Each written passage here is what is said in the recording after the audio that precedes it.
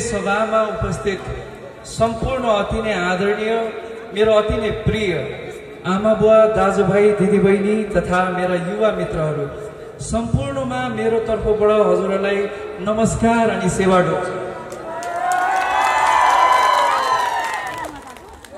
आज हेर्दा हेर्दै एक महिना बितिसकेछ म हामीहरू चुनावी दौडानमा घर दैलो कार्यक्रम गर्दै हिँड्दा लगायतका धेरै हामीले एकअर्कासँग बिताएका पलहरू एकदमै जटिल सङ्घर्षपूर्ण दिनहरू रातहरू सबै कुराहरूलाई स्मरण गर्दै यो एक महिनामा हामीले एकअर्कासँग जसरी बितायो जसरी एउटा सम्झना योग्य एउटा पलहरू बनायो म त्यसका लागि हजुरहरू सम्पूर्ण मतदाताहरूलाई हामीहरूलाई विजय गराउनु भएकोमा एक एक मतहरू सुरक्षित राखेर एक विशाल मतान्तरले हामीलाई विजय गराउनु भएकोमा म तपाईँहरूलाई सर्वप्रथम त धेरै धेरै धेरै धन्यवाद भन्न चाहन्छु। धन्यवादको आज सिलसिला जारी नै रहन्छ धैर्य गर्नुहोला। मैले यस चुनाव सौहार्दपूर्ण वातावरणमा सम्पन्न भएकोमा निर्वाचन आयोगका टिमलाई मैले धन्यवाद भन्नै पर्छ भन्ने मलाई लाग्छ। किनभने यो चुनावमा कुनै पनि किसिमको घटना घटेन। एकअर्काप्रति गाली गलोच पनि भएन। हामीहरू एकअर्काको बाटो काट्दाखेरि पनि हामीले एकअर्कालाई हार्दिकताको साथ हामीले अङ्कमाल गर्दै उहाँहरूलाई हामीले हेलो गर्दै हिँड्यौँ। त्यही कारणले गर्दाखेरि म सम्पूर्ण निर्वाचन आयोगका पदाधिकारीहरू अग्रजहरूलाई धन्यवाद भन्न चाहन्छु र अन्य पार्टीका उम्मेदवारहरूलाई पनि धेरै धेरै धन्यवाद। हाम्रा आदरणीय आमा बुवा दाजुभाइ दिदीबहिनीहरू सम्पूर्णमा यस चुनावी अभियानमा हामीलाई जुन तरिकाले साथ सहयोग दिनुभयो जुन तरिकाले माया दिनुभयो हामीलाई चोट लाग्दाखेरि पनि आँखा हुने खालको एउटा हामीलाई महसुसै नहुने खालको एउटा वातावरण बनाइदिनु भयो म त्यसका लागि तपाईँलाई फेरि पनि मनबाट धेरै धेरै धेरै धन्यवाद भन्न चाहन्छु।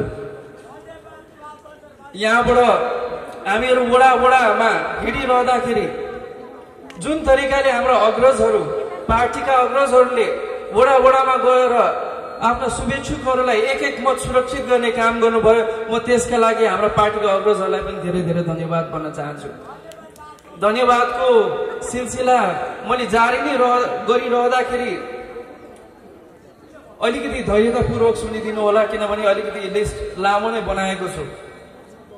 मैले विशेष गरेर धन्यवाद सम्पूर्ण युवा साथीहरूलाई र सम्पूर्ण अग्रजहरूलाई अभिभावकहरूलाई पनि मैले गर्नै पर्छ भन्ने मलाई लाग्छ। किनभने यो तपाईँले जुन तरिकाको विश्वास देखाउनु भएको छ जुन तरिकाको भरोसा गर्नुभएको छ यस्तै विश्वास र भरोसा तपाईँले तपाईँहरूको प्रिय नेतालाई पनि गर्नुभएको थियो। अनि मलाई लाग्छ त्यो विश्वास र भरोसालाई उहाँले शिरमा जुन तरिकाले राखेर काम गर्नुभयो जुन तरिकाले समृद्धतर्फ इलामको लागि काम गर्नुभयो जुन तरिकाले सबै इलामेलीहरूको हितमा उहाँले काम गर्नुभयो। तपाईँहरूलाई मैले त्यसका लागि पनि धन्यवाद दिनै पर्छ। किनभने बडा बडामा हिँड्दाखेरि तपाईँहरूसँग भेटघाट गर्दाखेरि मैले पल पलमा उहाँलाई सम्झिएँ। मैले उहाँसँग बिताएका पलहरू उहाँसँग चुनावमा हिँडेका पलहरू मैले पल पल सम्झेर मैले सधैँ भित्र मनमा भावुक भएर बस्ने खालको अवस्था थियो। म आज यहाँ उपस्थित भएर यहाँ मन्तव्य दिइरहँदाखेरि म बुवाको एक डेढ वर्ष अगाडिको जुन चुनावी विजय सभा थियो म मलाई त्यसको झलझली याद आइरहेको छ। बुवा यहीँ उभिएर बोलिरहनु भएको थियो। त्यस पश्चात सात महिनापछि श्रद्धाञ्जली सभामा म यहाँ उपस्थित भएर उहाँलाई सम्झिँदै रुँदै म बोलेको मलाई अझै पनि सम्झना छ। तर जुन तरिकाको हौसला तपाईँले प्रदान गर्नुभयो जुन तरिकाले तपाईँले मनोबल बढाउने काम गर्नुभयो जुन तरिकाले तपाईँले अहिले हामीप्रति विश्वास देखाइरहनु भएको छ त्यो अतुलनीय छ। त्यसलाई मैले कहिले पनि बिर्सन सक्दिनँ। त्यसलाई हाम्रो परिवारले कहिले पनि बिर्सन सक्दैन। त्यही कारणले गर्दाखेरि फेरि पनि तपाईँलाई मनबाट धेरै धेरै धन्यवाद भन्नु मन लाग्यो धेरै धेरै धन्यवाद। म यो भन्दै उहाँलाई सम्झँदै उहाँप्रति श्रद्धा सुमन पनि व्यक्त गर्न चाहन्छु। र सँगसँगै आज जुन धरातलमा हामी उभिएर बोलिरहेका छौँ यहाँ कम्युनिस्ट आन्दोलनमा हाम्रा अग्रजहरू कम्युनिस्ट आन्दोलनको अग्रणीहरूले जुन योगदान र बलिदान दिनुभएको छ रत्नकुमार बान्धवा र बम बान्धवा लगायत अन्य शहीदहरूलाई पनि म यहाँ सम्झेर उहाँप्रति श्रद्धा सुमन व्यक्त गर्न चाहन्छु। आज यहाँ उपस्थित भइरहँदाखेरि मैले सम्मान गर्ने कुरामा मैले छुट्याउनै नहुने कुरा के हो भने हाम्रो अग्रजहरूलाई मैले सम्मान व्यक्त गर्नुपर्छ भन्ने मलाई लाग्छ। हाम्रो अग्रजहरूको योगदान हाम्रो हाम्रो अग्रजहरूको बलिदान उहाँले बगाउनु भएको रगत र पसिनाको मैले यहाँ सम्मान गर्नै पर्छ मैले स्मरण गर्नै पर्छ भन्ने मलाई लाग्छ। हामी जुन तरिकाले अहिले यो जुन ठाउँमा उभिएर म बोलिरहेको छु त्यो व्यवस्था परिवर्तन नगरेको भए आज त्यो सम्भव हुने थिएन भन्ने मलाई लाग्छ। हामीले निरङ्कुश शासनसँग लड्यौँ। हाम्रो अग्रजहरूले व्यवस्था परिवर्तनका लागि लड्यो। सँगसँगै सबै पहिचानको हक अधिकार सुनिश्चित हुने संविधानका लागि लड्यो। त्यही कारणले गर्दाखेरि म उहाँहरूप्रति पनि सम्मान व्यक्त गर्न चाहन्छु। मैले यो किन जोडिरहेको छु त भन्दा अहिलेको आवश्यकता युवा हो युवा हो भनेर मलाई अगाडि साडेको अवस्था छ। म प्रति उहाँले देखाउनु भएको विश्वासलाई म धन्यवाद भन्न चाहन्छु म सम्मान व्यक्त गर्न चाहन्छु। हो अहिलेको आवश्यकता युवा त हो। तर युवा सँगसँगै उहाँहरूको सम्मान उहाँहरूको योगदानलाई सम्मान गर्दै उहाँहरूको अनुभव र तजुर्बालाई पनि हामीले स्मरण गर्नुपर्छ भन्ने मलाई लाग्छ। त्यही कारणले गर्दाखेरि मेरा अग्रज अभिभावकहरू मेरा मित्रहरू म सम्पूर्णमा यहाँ म आज भन्न चाहन्छु। अहिलेको आवश्यकता भनेको युवाको ऊर्जा त हो तर अग्रजहरूको अनुभव र तजुर्बा हो। म आफूमा चाहिँ के लागू गर्छु भने म कसैलाई नराम्रो देखाएर म कसैलाई गाली गलोज नगरिकन म कसैको दुष्प्रचार नगरिकन म आफूले काम गरेर देखाउने कुरालाई म सम्मान गर्छु। कसैको दुष्प्रचार गरेर कसैलाई गलत त्याएर दोषी ठहराएर आफू राम्रो देखिनु उचित हो भन्ने मलाई लाग्दैन। त्यही कारणले गर्दाखेरि अब बिना टिका टिप्पणी बिना गाली गलोस् तपाईँहरूको भावना अनुरूप तपाईँहरूकै सरसल्लाहमा तपाईँहरूसँग हातेमालो गरेर काम गरेर देखाउनु छ। चौरासीको चुनावमा हामी घर घरै नपुग्नु पर्ने गरेर कामै देखेर उहाँले हामीलाई मत हाल्ने तपाईँहरूको हक अधिकार कहीँ मिचिएको छ भने म मेरो ल फर्मबाट तपाईँहरूको म फ्रीमा म काउन्सिलिङ गरिदिन्छु मुद्दा लडिदिन्छु म। अब आउँदो दिनहरूमा उहाँहरूसँगैको आधेमालोमा उहाँहरूकै सल्लाह सुझाव र तपाईँहरूको भावना अनुरूप म अगाडि बढेर इमान र निष्ठापूर्वक काम गर्नेछु भनेर यहीबाट बाचा पनि गर्दछु। हामीले यो सबैको कुरा गर्दाखेरि मैले अब यो काम गर्छु भनिरहँदा मैले अहिलेको युगको कुरा पनि गर्नुपर्छ भन्ने मलाई लाग्छ। हाम्रा अग्रजहरूले अभिभावकहरूले जुन तरिकाको व्यवस्था परिवर्तन र संविधान लेखन सम्मको काम गरेर पुरानो युग जुन चाहिँ व्यवस्था परिवर्तनको युग थियो त्यसले एउटा धरातल बनाइदिनु भएको छ। त्यो धरातलमा उभिएर अब हामीहरू युवासँग हात जोडेर अग्रजहरूको आशीर्वाद र तपाईँहरूको भावना अनुरूप तपाईँहरूकै साथ सहयोगले हामीले अब अवस्था परिवर्तन गर्नु छ सामाजिक परिवर्तन गर्नु छ आर्थिक समृद्धि ल्याउनु छ नेपाललाई र इलामलाई समृद्धतर्फ लानुपर्ने छ भनेर म यहीँबाट सबैजनालाई आग्रह पनि गर्न चाहन्छु। त्यही कारणले गर्दाखेरि अहिलेको आवश्यकता त्यो मात्र नभएर अहिलेको आवश्यकता भनेको अब नयाँ ढङ्गले अगाडि बढ्नुपर्छ भन्ने मलाई लाग्छ। नयाँ ढङ्गले भन्दाखेरि के हो त भन्दा म आफै म आफूमा चाहिँ के लागू गर्छु भने म कसैलाई नराम्रो देखाएर म कसैलाई गाली गलोज नगरिकन म कसैको दुष्प्रचार नगरिकन म आफूले काम गरेर देखाउने कुरालाई म सम्मान गर्छु। कसैको दुष्प्रचार गरेर कसैलाई गलत त्याएर दोषी ठहराएर आफू राम्रो देखिनु उचित हो भन्ने मलाई लाग्दैन। त्यही कारणले गर्दाखेरि अब बिना टिका टिप्पणी बिना गाली गलोस् तपाईँहरूको भावना अनुरूप तपाईँहरूकै सरसल्लाहमा तपाईँहरूसँग हातेमालो गरेर काम गरेर देखाउनु छ। चौरासीको चुनावमा हामी घर घरै नपुग्नु पर्ने गरेर कामै देखेर उहाँले हामीलाई र मैले छुट्याउनै नहुने कुरा मैले धेरै जसो मेरो मन्तव्यहरूमा मैले इन्द्रेणीको कुरा गर्ने गरेको छु। इन्द्रेणीको सातवटा रङ कति राम्रो हुन्छ कति सुन्दर हुन्छ त्यस्तै। हामी पनि आज यहाँ सबै जात जातिका अग्रजहरू अभिभावकहरू मित्रहरू सबै उपस्थित छौँ। हामी पनि कति सुन्दर छौँ। हामी सबै मिलेर यहाँ एकअर्कालाई साथ दिनको लागि उभिएका छौँ। हामी एकबद्ध ढङ्गले हाम्रो यो जुन अभियान छ विकास निर्माणको अभियान विकास निर्माणको आधार कोर्ने अभियान त्यो अभियानमा हामी एकजुट भएर अगाडि बढिरहेको देख्दाखेरि मलाई एकदमै खुसी लागेको छ। त्यही कारणले गर्दाखेरि अग्रज अभिभावकहरू मेरा मित्रहरू सम्पूर्णमा म आग्रह गर्न चाहन्छु धेरै भ्रामक र अफवाहमा नलाग्नु हुन म यहीबाट आग्रह गर्न चाहन्छु। कुनै किसिमको मतभेद छ भिन्नता छ भने त्यसलाई संवादले हामीले त्यसलाई सल्भ गर्न सक्छौँ। संवाद मार्फत हामीले त्यो मत भिन्न जुनै पनि मत भिन्नतालाई हामीले त्यसलाई ट्याकल गर्न सक्छौँ। त्यही कारणले गर्दाखेरि मैले अघि नै पनि जोडिसकेँ सबै पहिचानको हक र अधिकार सुनिश्चित हुने हामीसँग संविधान छ। हामीले संविधान प्राप्त गरेका छौँ। म यहीँबाट आज आह्वान गर्न चाहन्छु तपाईँहरूको हक अधिकार कहीँ मिचिएको छ भने म मेरो ल फर्मबाट तपाईँहरूको म फ्रीमा म काउन्सिलिङ गरिदिन्छु मुद्दा लडिदिन्छु म। त्यही कारणले गर्दाखेरि केही हक अधिकार तपाईँहरूको मिचिएको छ भने त्यसलाई संवाद मार्फत हामीले त्यसलाई सुल्झाउन सक्छौँ। त्यही कारणले कुनै पनि अफवाहमा नलाग्नु हुन यहीबाट आग्रह गर्न चाहन्छु। यो सबै मैले आज यहाँ प्रतिबद्धता जनाइरहँदाखेरि मैले इमान र निष्ठाको कुरा गर्नैपर्छ भन्ने मलाई लाग्छ। तपाईँले देखाउनु भएको भरोसा र विश्वासको कदर गरेर तपाईँले दिनुभएको एक एक मतको मूल्याङ्कन हुने गरेर मैले काम गर्नै पर्छ भन्ने मलाई लाग्छ। त्यही कारणले गर्दाखेरि बुवाले देखाउनु भएको बाटो र उज्यालोलाई समाएर उहाँकै तरिकाले इमान र निष्ठापूर्वक मैले काम गरेर तपाईँलाई देखाउनु छ। त्यो सबै मेरै काममा आएको छ। त्यो काम गर्ने बेला म तपाईँलाई कहिले पनि सङ्कोच हुन दिने छैन। तपाईँलाई कहिले पनि पछुताउन दिने छैन। म यहीबाट प्रतिबद्धता पनि जनाउँछु।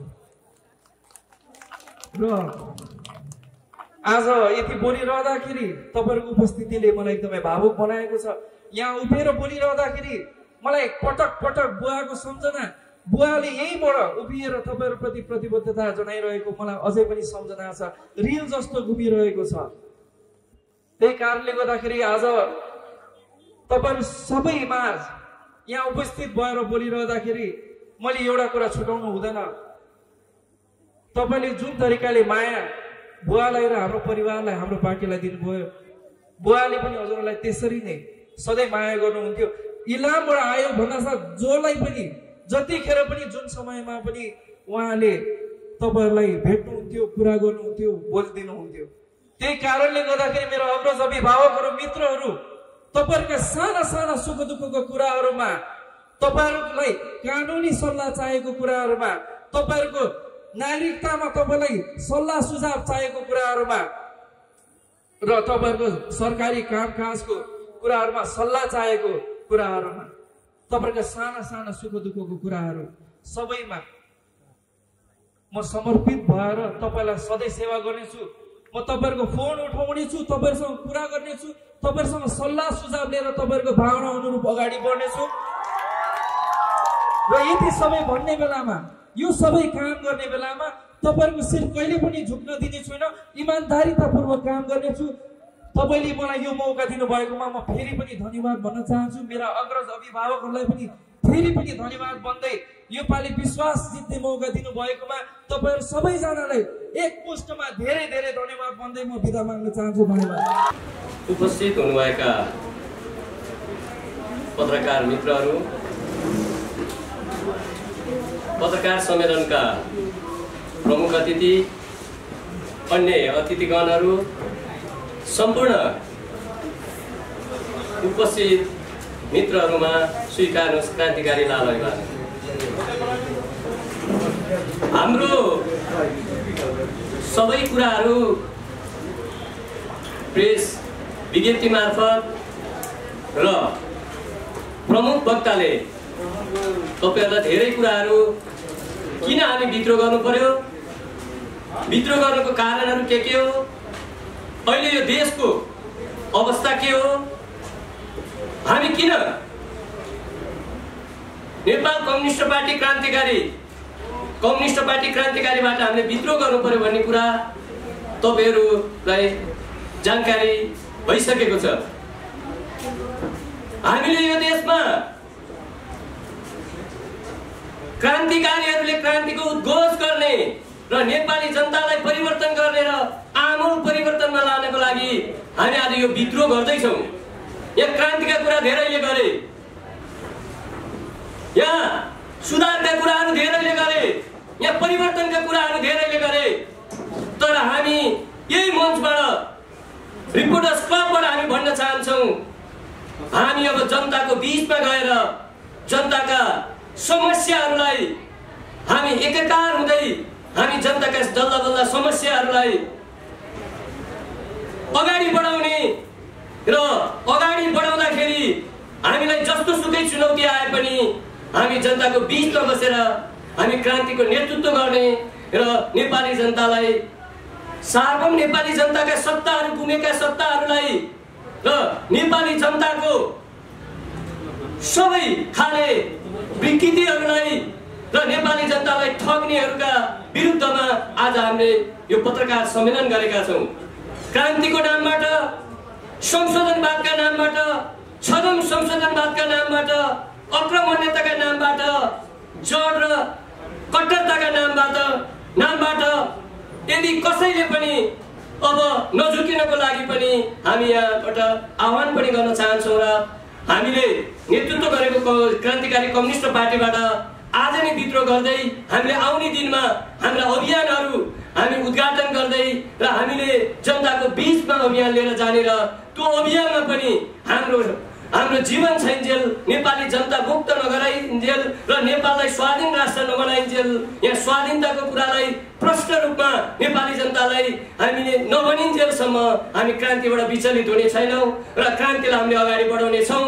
यदि त्यो क्रान्तिमा कोही कमरेडहरू कोही जनताहरू र सबै क्रान्तिकारी कमरेडहरूलाई ती जडता आक्रमणताकारीहरूसँग सम्बन्ध विच्छेद गरेर अहिले कृष्ण सेनी युगमा एउटा बैठकको नाममा केही मान्छेहरू त्यहाँ बसेर चाहिँ माथि तल बसेर केही योजना बुन्दैछन् र त्यहाँ नझुकिनको लागि र नबस्नको लागि पनि म यहाँबाट क्रान्तिकारी कमरेडहरूलाई र सबै कमरेडहरूलाई हामी आह्वान गर्दै यदि हामीले चाह्यौँ भनेदेखि यो देशमा एकचोटि हिमालमा हाम्रो हिमाल भएको देशमा हामीले क्रान्तिकारी झन्डा गाड्ने र क्रान्ति भनेको लडाइँ झगडा मात्र होइन क्रान्ति भनेको परिवर्तन हो रूपान्तरण हो र हामी रूपान्तरण सहितको हामी क्रान्ति गर्ने प्रतिबद्धता सहित म पनि बिदा हुन्छु।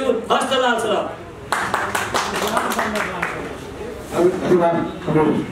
प्रिय पत्रकार मित्रहरू र ड्यासबाट हुनुहुने हाम्रा सहयोगका कमरेड साथीहरू यहाँ सम्पूर्ण प्रिय मित्रहरूलाई सर्वप्रथम स्वीकार्नुहोस् हाम्रो आफ्नै सङ्गठन तपाईँ हाम्रो आफ्नै सङ्गठनको तर्फबाट हार्दिक अभिवादन वास्तवमा हामी यहाँ विद्रोहको उद्घोष गर्न आयौँ र विद्रोह कसले गर्छ यो मुलुकमा भन्दा जसलाई उत्पीडन छ जसलाई विभेद छ जसलाई अन्याय छ जसलाई अत्याचार छ।